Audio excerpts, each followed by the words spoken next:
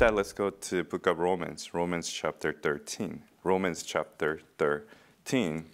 Title message. Romans chapter 13, we're going to look at verses 11 through 14. Romans chapter 13, verses 11 through 14. The title message is Wake Up and Get Busy. Wake up and get busy.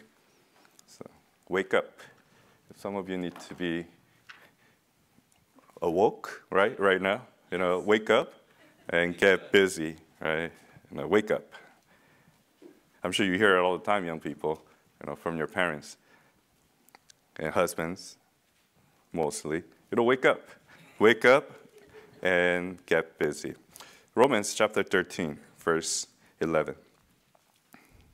And that, knowing the time, that now it is high time to awake out of sleep. For now is our salvation nearer than when we believed. The night is far spent, the day is at hand.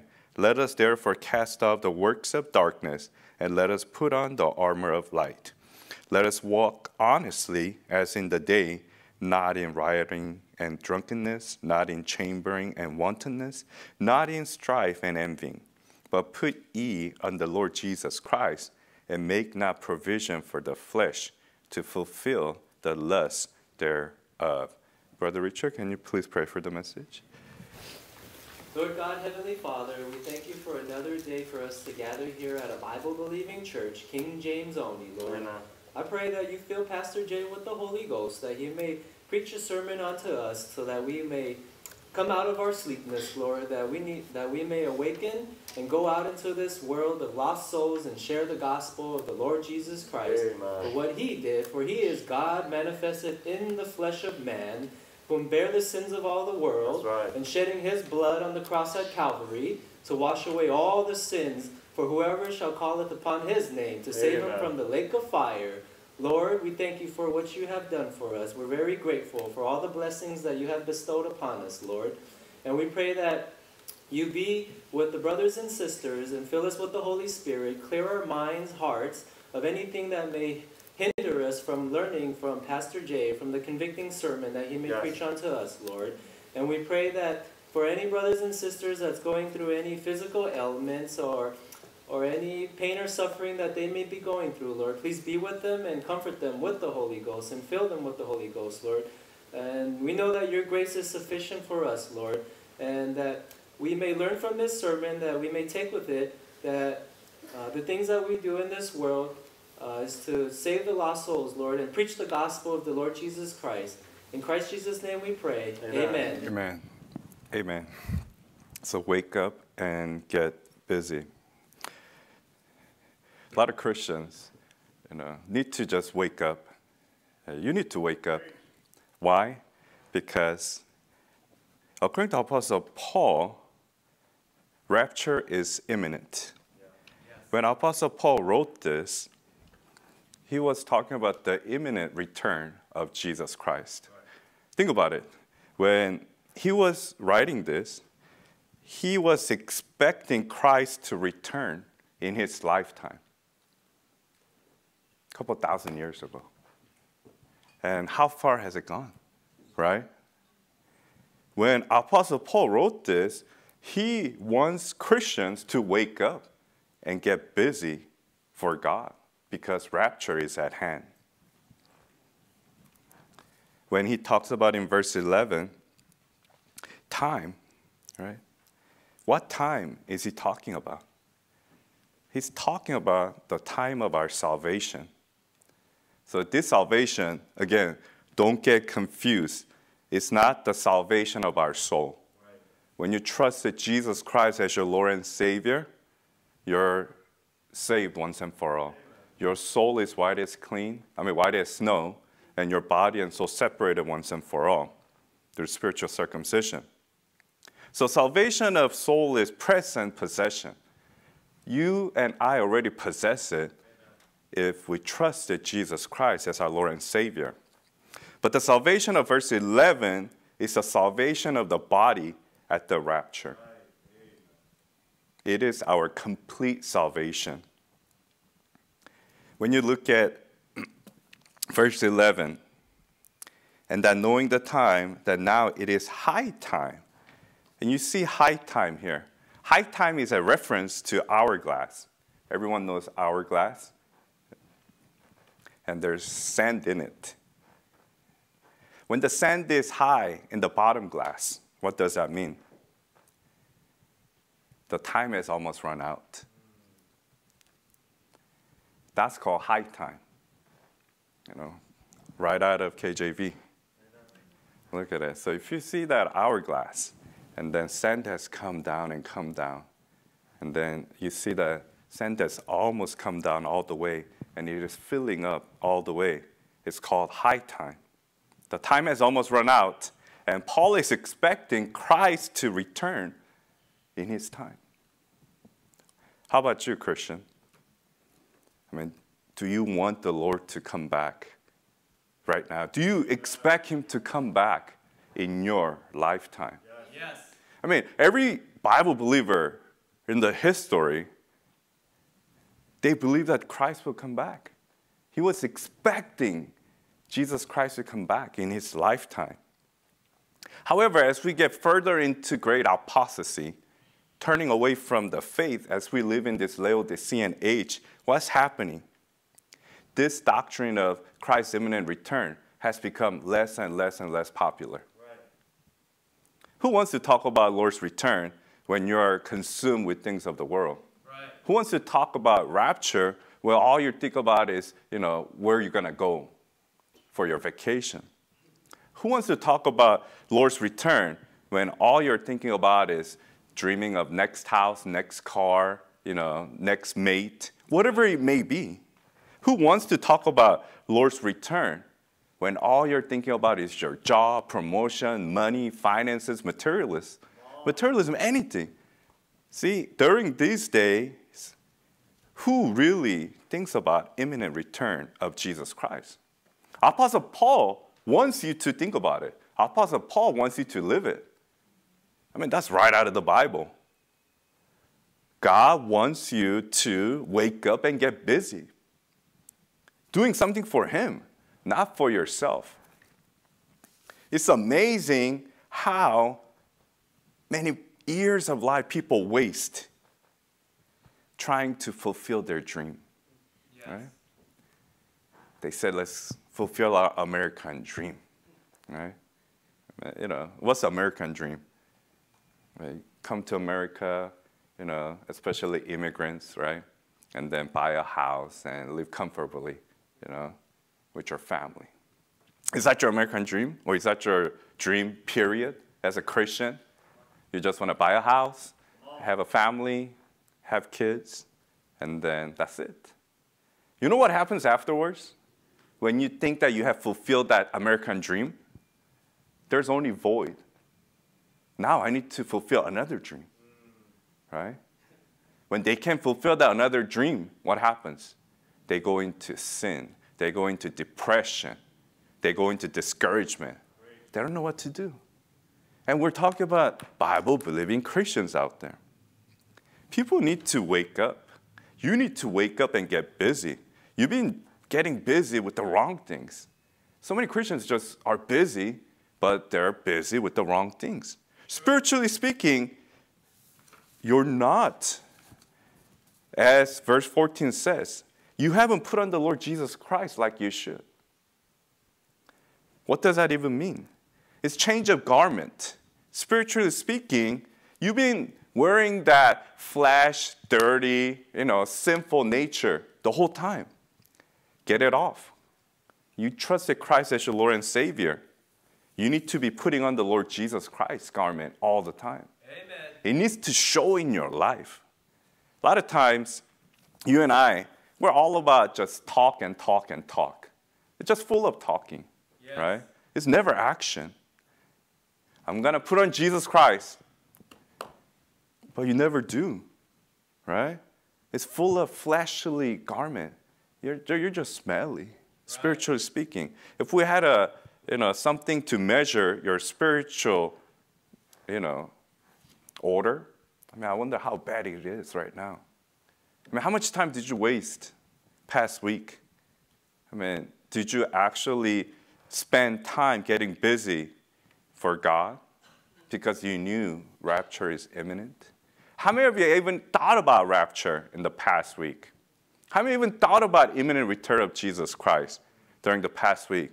I could guarantee you, knowing Apostle Paul reading the Word of God, every day he was expecting Lord to come back. He lived his day as if he's coming back today. I mean, when we read our verses, there's high time, there's near, and there's at hand. To me, that's immediate. To me, that's going to happen very, very soon. You have to have that kind of attitude when you're living for Lord Jesus Christ.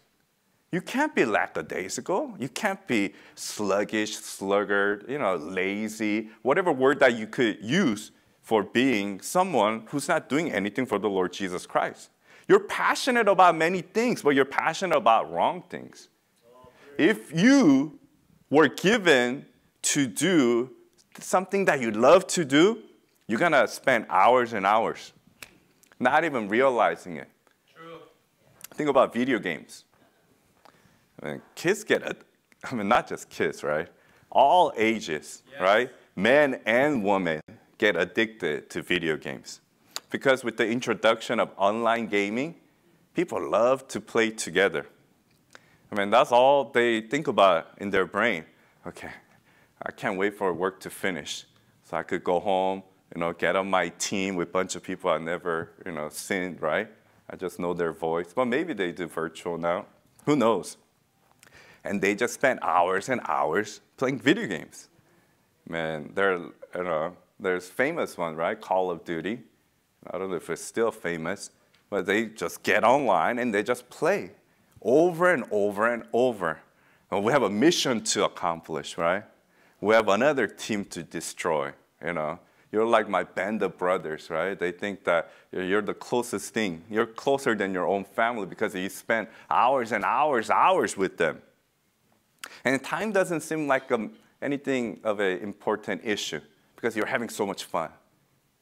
But after you stop playing at 3 or 4 a.m. and you have to go back to work, you know, by 9 o'clock or 8 o'clock the next day, you feel so sluggish.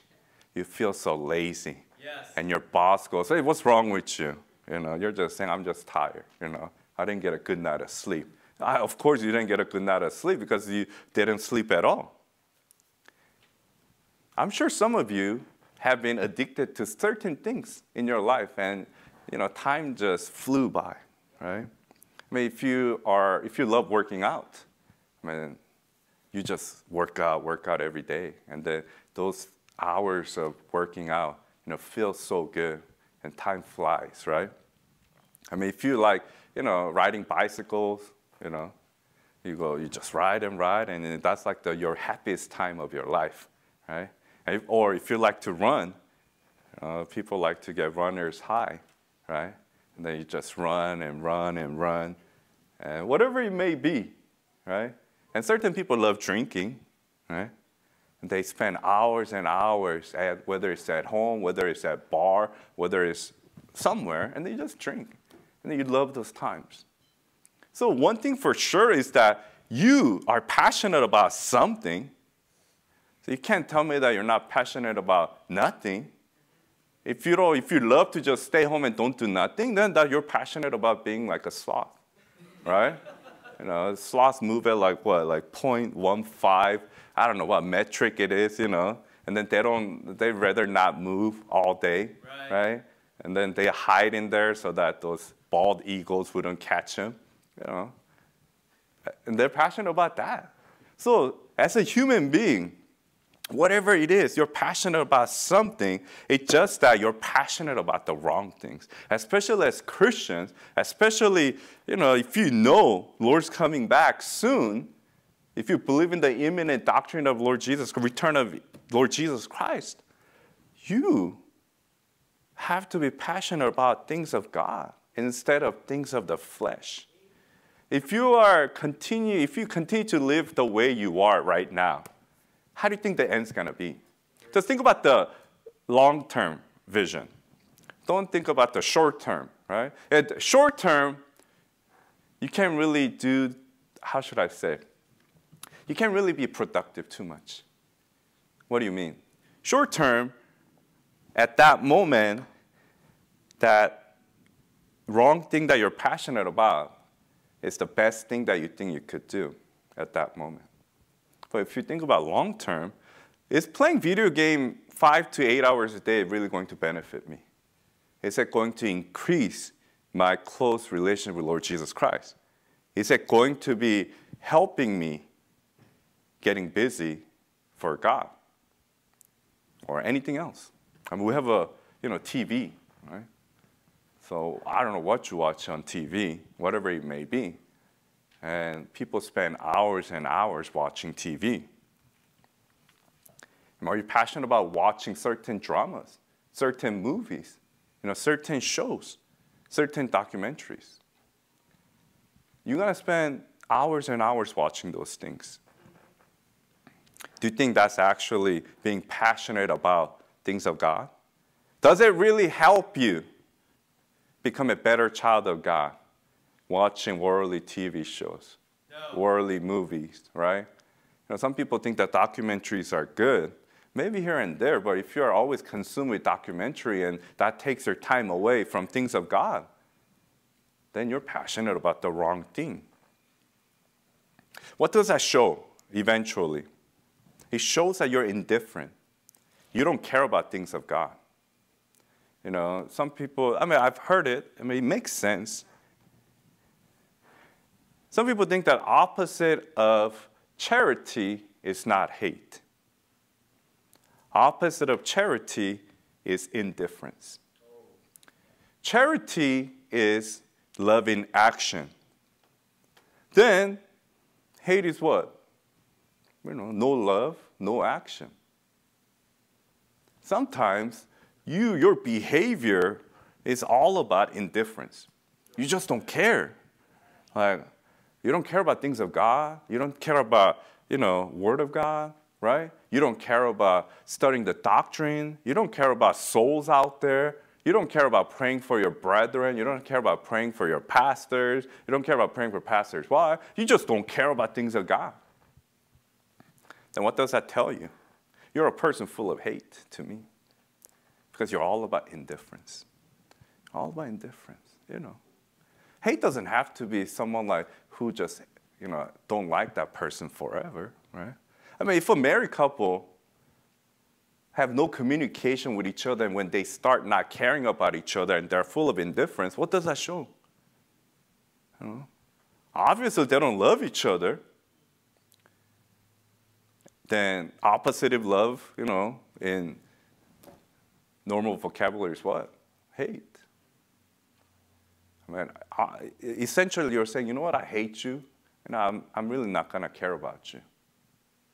Right? At least if you do something, and if you, even if you know you do something wrong to that person, at least there's some action involved. Maybe there's, you know, there could be a hope because you still care for each other. But once you stop caring about things, once you start becoming indifferent, and you don't really care about what other people think or not, then you have no charity in you, that's for sure. Don't say you love God when you are full of you know, no care attitude, don't care attitude towards things of God. That's why you have to wake up. That's why you have to get busy. And you have to get busy for things of God. Then how can you do that? How can you start waking up and get busy for God? You know, we have good example in the Word of God, and his name is Nehemiah. Nehemiah, he got busy for the Lord. First thing is that he was committed. Nehemiah was committed.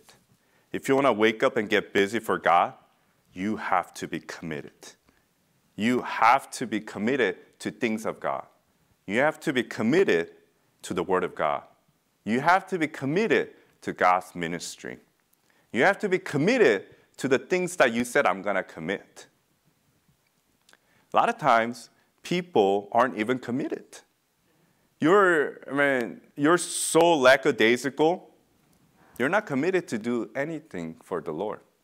Like, say, for example, yesterday, which is Saturday, you know, you have, most of you had the day off yesterday. How committed were you for God yesterday? What'd you do? Literally, what did you do for the Lord yesterday? Besides from things that you are required to do. Right? I mean, if you, I mean, young kids, you know, you have to read three chapters every day just to get a parent's signature, right? You, know, you have to work on the internet ministry because you had to, right? Or else you're gonna look bad.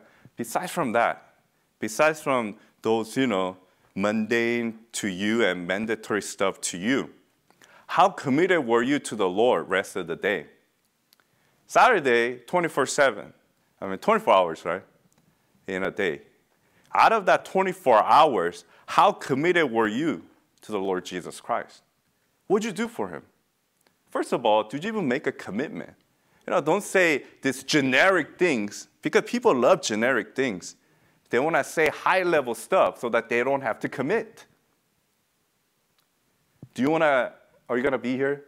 Say, for example, you know, you know, you ask a brother or sister, right? You know, hey, hey, brother, you know, are you're gonna come to street preaching on Friday.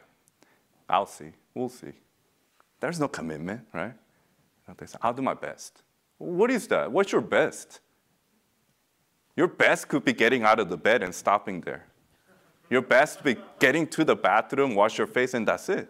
Your best could be that, you know, sitting on your couch and just watching TV. So doing your best doesn't really translate to anything, honestly. You have to commit. I'll be there, brother, that day. Then there's certain things that's gonna, you know, work inside of you.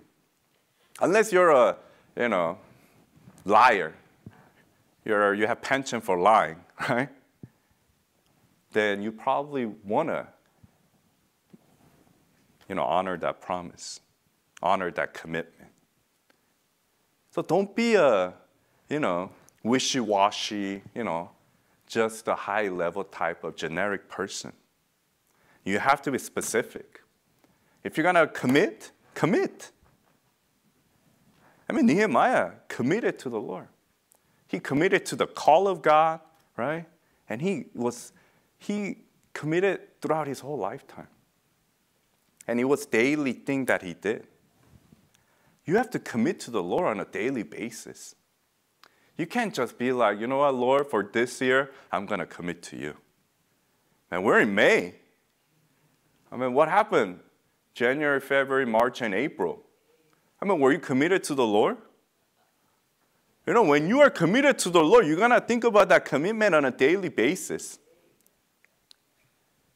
The fact that you did not Think about things of the Lord. The fact that you didn't commit to the Lord even yesterday just tells you a lot. You are in slumber spiritually. You're sluggish. You're slothful. And you have to admit it. I do not have, I did not have commitment like I should, or I should have, like for the Lord. I mean, just like how Apostle Paul, think about it. Apostle Paul was waiting and he was expecting the imminent return of Jesus Christ. That's how he lived his life. And he was committed to that on a daily basis. But you weren't. And it's a command. He said it. Wake up and get busy for God. Why aren't you committed to be awake and being busy for God? Then, as you can see from Nehemiah, he was committed. I mean, he definitely was committed. And secondly, he was concerned. Nehemiah was concerned. He was concerned about things of God. He was concerned about situation around him. He was concerned about the people around him. He was concerned about his own country. Now, how concerned are you about your brethren? How concerned you about our ministry? How concerned are you about this country? you know, I mean, this country is, you know, going down the toilet, but how concerned are you about it? And you could always, you know, dig the country, you know, dig the administration, you know, all that and stuff. I mean, do you actually care about the country at all? Do you care about the bunch of people, millions of people on their way to hell? I mean, are you concerned at all? I mean, Nehemiah was concerned. I mean, go, go read Nehemiah. Go, go to chapter 2 of Nehemiah. I mean, he was concerned. I mean, when was the last time you were truly concerned about things of God? When was it? Obviously, if you did not have any commitment, you, you don't care about things, right? I mean, we could always go back to just yesterday because yesterday is a great example because it's already fresh on your mind.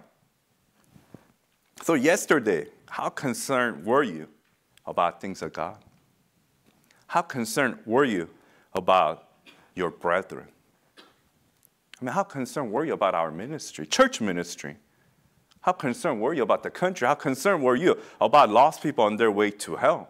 I mean, how concerned were you about your family and their spiritual health? How concerned were you about your own spiritual health? I mean, how concerned were you?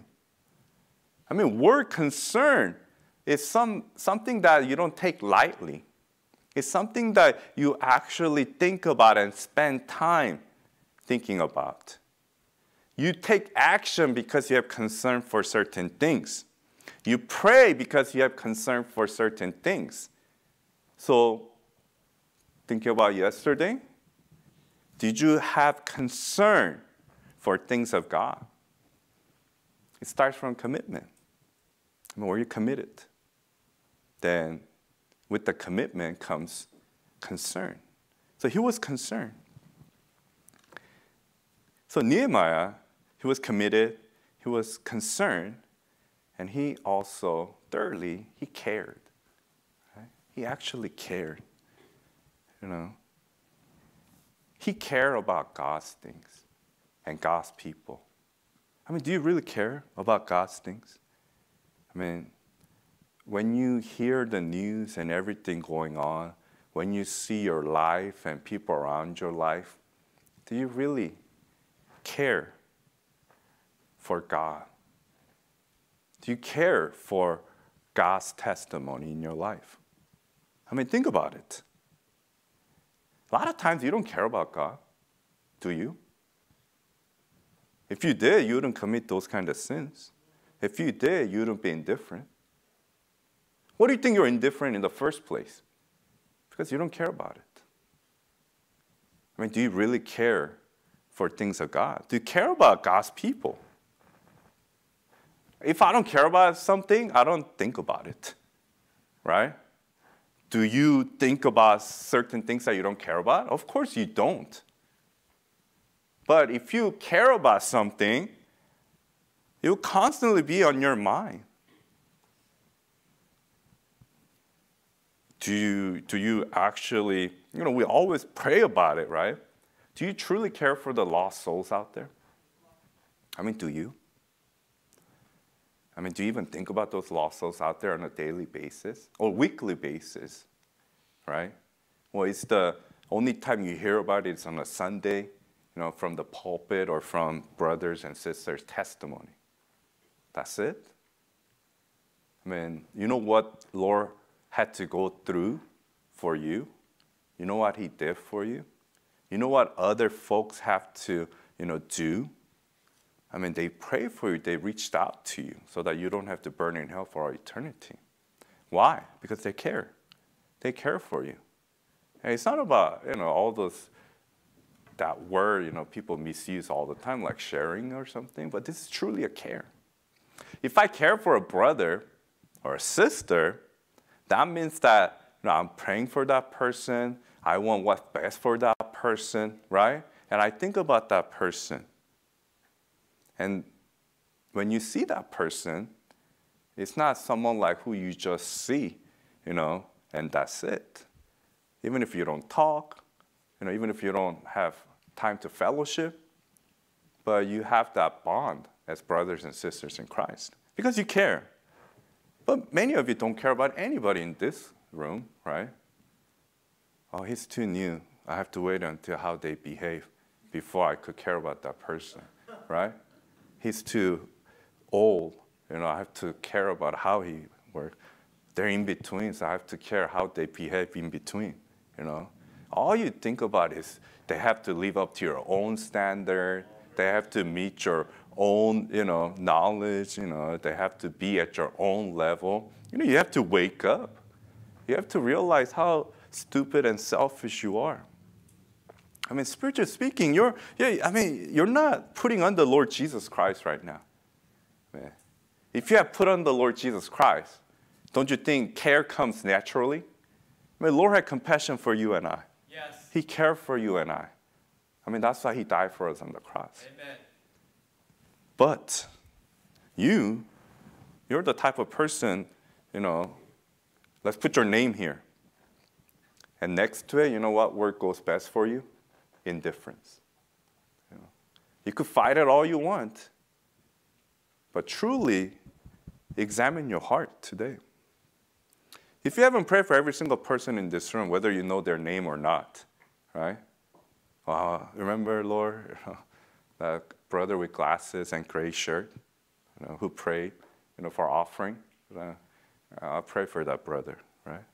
Or, uh, or sister, you know, I can't remember the name, you know, right now. But some people are bad with names, you know, so I understand, you know. But if you do truly care about that person, you remember, right? Do you, okay, let me ask you a question. Do you know your family's name? Do you know your husband's name? Do you know your wife's name? Do you know your brothers and sisters' name? Do you know your grandma's name, grandpa's name? You probably do. I'm just saying probably because there's always one smart aleck goes, oh, I don't know my grandma's name. I just call her, you know, Nana or, you know, blah, blah, blah. But you know because you care about them. How can you say, you know, you've seen that brother for, say, five years. And like, I, I don't know that person's name, you know. You've seen that people like for at least half a year. Oh, I still don't know their name because you don't care. I mean, isn't that obvious? When you don't care, you're not going to remember and you're not going to care. Right. When you don't care, they'll never be on your mind. That's why you have to care. And when you care, you care about things of God. You care about His ministry, you care about His people. Amen. You do. And you care about all the lost souls out there. Yes. That's where your commitment, your concern just puts into action. Yes. If I care about God, then I'm not going to do things that's going to displease Him. Amen. If I care about things of God and His thoughts, then I'm going to do things that will please Him. Amen. And you think about that every second of your life. You think about it every second of the day. Great. That's why before you even do anything, if you truly care for God, then you're going to change your action. You're going to change your behavior. Instead of sitting on your butt and doing nothing every day for hours and hours, you're going to do something, Yes. right? You know, you're going to start committing to the Lord. Amen. Like, man, Lord, those days, I know it's in me. I have it in me because I could play hours and hours of video games without stopping because I have a passion for it. But I don't want that anymore, Lord. I want to do something for you. I want to be really, really addicted, literally, to reading your word, studying your word for hours and hours without even checking the time. yes. I mean, when was the last time you read your Bible without checking your time? I mean, if you care about somebody, you don't really care about time, do you? Right. I mean, if you're dating someone and if you really love that person, I mean, are you gonna always constantly check your time? What does that mean? You don't care. You want that to end, right? I mean, you, want, you actually don't want to know about the time. because you want to be staying together, spend time together longer and as long as you want. No sleep. Right? Yes. Even no sleep, right? In a, in a, how should I say, moral ways, right? Practical ways, clean ways. Yes. Then why can't you do that for the Lord? Why can't you care like you care about worldly and fleshly things? Amen. Again, you have to examine your heart because your heart is not there right now. Your heart doesn't love the Lord like you say. True. Your heart doesn't really care for things of God like you said. I mean, your heart isn't committed to the Lord in the first place, and your heart isn't concerned about things of God. That's why you don't care. That's why your attitude is always, I don't care. I don't care. I don't care. You know, that's probably like the worst answer I could ever hear from a human being's mouth, right? I don't care. Then what do you care? Ah, I know. You care about your fleshly and your own things, you selfish, you know, True. blah, blah, blah, right? Yes. I mean, if you're a Bible believer, if you're a saved Christian, you shouldn't care about yourself so much like you do right now. You should just care about what God cares about. Amen. That's it. Why are you always going back to your flesh and loving what your flesh always loves? That's why you better be careful when you always say, I don't care. Then maybe God will never care for you. Maybe God says, you know what? I mean, if, if that's your attitude, forget it. You, you probably need to get some chastising, right? You know, because He's a loving Father. And if that doesn't work, you know, it's like Romans 8:13. If you live after the flesh, you shall die. So you're gonna go go to home, go home early. You know, that's what's gonna happen to you. Yes. But at the judgment seat of Christ, man, you got a lot to answer for. Man, I care for you. I die for you. Look at the marks of my body. But you don't care? Man, what are you going to do? You have nowhere to hide. And before that comes to realization, just think about your heart. I mean, I need to wake up. Your heart needs to wake up. You know, they say you need CPR. Man, you need spiritual CPR. I mean, it's like it's like a you know just walking along with just almost like you know quote unquote like a zombie, right? I mean, you're just walking along and you don't care about anything, and then each day it's like same thing over and over. Right? As a Christian, you have a privilege and blessing to be exci- excited about serving the Lord, committed to the Lord, you know, for each every day, single day, every day, should be like another day. You know what? I'm expecting Lord to come today. Wow, man, I'm gonna make this the best day ever serving the Lord. Then each day gets better than the other. Man, I wanna serve the Lord even just tiny bit better than yesterday because I'm committed. Because, you know, I am concerned for things of God and because I do care. Do you hear, don't you hear that all the time? When people are fighting, you don't care. You don't care about me, right? You don't care about this. And then you go, I do care, you know? I, mean, I do care about you. Well, How many times do you guys have that conversation as a married couple, right? You don't care about how I feel. You don't care about what I think, right? But you know, whether it's man or woman, you're like, I do care. You know, you know. Even children too. Like, how come you don't do what I tell you to do? Ah, but I do care. You know, like you know, you say, you know, I care, I care, I care, right? But there's no commitment, there's no concern, and your action doesn't show. Then to me, you don't care at all. Uh, but at least you're not the I don't care type either, though. I mean, to me, those people have no hope. Like your heart's like, okay, so you don't care at all, right? Then where are you gonna go? It's like, it's like you're, you talk to someone, okay, this is how you go out there and witness. Okay, if you meet, you know, Calvinists, if you meet, you know, Catholic, you know, if you meet, you know, you know, say, you know, Seventh Day Adventist, right? And the person answers back to you, I don't care. Where do you go from there? Oh. Okay, okay. Well, I, I don't, I- okay, that's it. It's, it ends just there. So don't have that attitude where I don't care. Yes. I mean, it leads to indifference. Yeah. You're opposite of charity. So do care about everything. That's right. I mean, there are no coincidences in your life.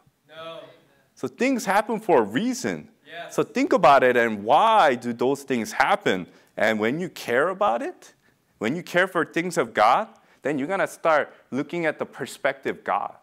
You're gonna see why, you know, God does it His way instead of me, just like a little spoiled brat, wanting to have it done my way, right? The worst song ever. I want it done my way, right? You know, you do it your way, it's all to the destruction, right? Right. You know, people who's listening, you know, if you did it your way continuously, you know, before you got saved and after you got saved, you know, you'll be in jail. You know, some of you might be dead, right? You know, some of you might be in that total gutter, right? Maybe you'd still be in rehab or whatnot. Right. But you didn't do it your way, you did it God's way. That's why you became a little bit better. There's a little bit of more hope for you. Yes. Why? Because you want to do it God's way. Then what happens? You become so when you're wake when you wake up and get busy for God, right? In order to do that, you're committed, you're concerned, you have care, then confidence comes in. Man, when you do things for God, then you do it with conf- I mean confidence, like courage, right? Yes. Because you care for that soul, because you're committed, and because you're concerned, you could be out there preaching the word confidently. You could be witnessing confidently. You could read the word of God confidently. You could have Bible study confidently. You could listen to preaching confidently. Why? Because it's all about your heart. It comes to your heart. Man, I'm confident that I'm going to get something from God today because I'm committed to things of God. That's why many people come to church service or listening. I mean, listening, you have to be more committed to listen, so I think there's more commitment. But people who come to church because, you know, they follow friends or family, you know, and they're not that confident. You sit on the pulpit and your, your eyes already indifferent. You don't care. And there's no confidence in you, right? I mean, are you confident to face God's opposition? Are you confident to think about things of God? Talk about things of God? Are you confident to preach the word in season, out of season, everywhere? I mean, are you confident? If there's no confidence in your life when it comes to things of God, then you have to wake up Yes. you have to get busy and you have to get right with the Lord. Amen. I mean, 1 John 1 9, if we confess our sins, He's faithful and just to forgive us our sins and to cleanse us from all unrighteousness. You have to get right with the Lord. Yes. That's why sometimes you're very weary. You're a coward. You know, what's the opposite of being confident? Coward. Right? You're a coward. You're Yeah. a chicken. I mean, if you're a chicken, I mean, what can you do? You really can't do anything. In the battle, what do cowards do? Run. They hide, run. Yes. They don't want to engage in the battle. True. When they see opposition, what do they do? Just like those Israelites, when they saw Goliath, they tremble Right. and they hide. That's why, you know, when it's time to do something for God, you're hiding. You are acting like a coward. And don't say that, you know, I'm not. Oh, yeah? Then show it. Don't show it to me, right? Show it to God. That's right. And just examine your heart. The reason you are not confident, the reason you're a coward is because you're not committed, you're not concerned, and you don't care. Then how can you be confident when you're not committed, concerned, right? And caring? I can confidently talk to you, someone who's on your way to hell, because I'm concerned for you. And if you're not concerned for that person, you can't talk to them confidently. Right. I mean, honestly, you just can't because you don't care. For, uh-huh. And then, right when they say something to you, hey, but you know what? This verse says I have to work for my salvation. And you're like, okay. And he just runs away. No, if you're confident and you want that soul to get saved, you're going to talk to them about the verses, dispensationalism, the right way to get saved during this church age. Yes. Because you're committed to learning the Word of God. Amen. Because you concern and you're, you have care for those lost souls out there. And when they give opposition to you, you're confident that God will move their heart. You're confident that God will intervene. You're confident that God wants every soul to get saved. Yes. Then that confidence will translate in your Christian life. Then, as Romans 13 14 says, you'll be putting on the Lord Jesus Christ because you're confident in the Lord Jesus Christ. Again, there's big difference between being, you know, haughty, proud, you know, puffed up knowledge. We're not talking about that. Those people don't care about others. They only care about their prestige, their own, you know, opportunity, their everything about their own things. But when you are confident in the Lord, whatever the opposition you face, you know that God will prevail. You know that at the end of the day, whatever happens, I'm on the winning side. Amen. Right? I mean, we sing that, right? Yes. I'm on the winning side. You could have that confidence, but a lot of times, since you don't have that confidence, you think that, man, I'm on the losing side today. You know, you know I lost today. I mean, how many days have you gone by this year? You know, January to April, when you examine every single day, if you could, you felt like you lost that day. Mm. Yeah. Probably majority, Right. Yes. besides from maybe Sunday, maybe a little bit of Wednesday because Wednesday night service, right? Or maybe a little bit of Friday when we street preach or when we meet on Saturdays here and there. Probably rest of the days, probably you could say that I lost. Going back to yesterday, how confident were you? Or were you like a coward yesterday? Or were you like a chicken when it comes to really committed and getting busy for the Lord?